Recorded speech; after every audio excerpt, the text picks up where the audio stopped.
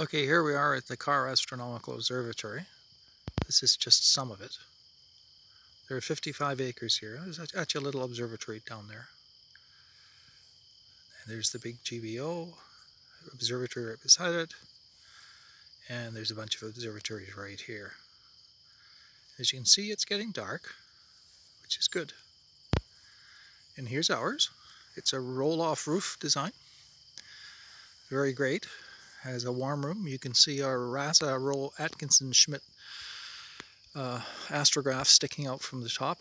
There's a little observatory down there. We're going to be trying for the Lagoon Nebula, which is to the south, very low to the horizon, but not for another hour or so. It has to get dark. Let's go in and have a look at the warm room.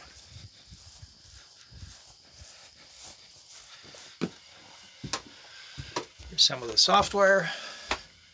I'm going to tell the software to control the camera uh, and I want it to make the camera uh, uh, sorry not the camera the telescope move. So here we go.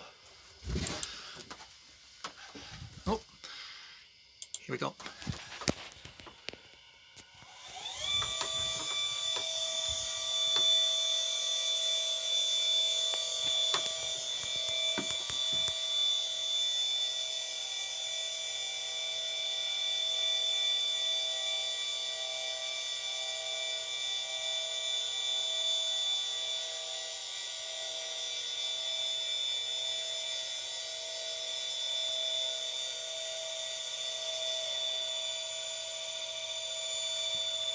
As I said, this target is very low to the horizon. This is about the last chance to get it this year. You can see how darn low the telescope is. Wow.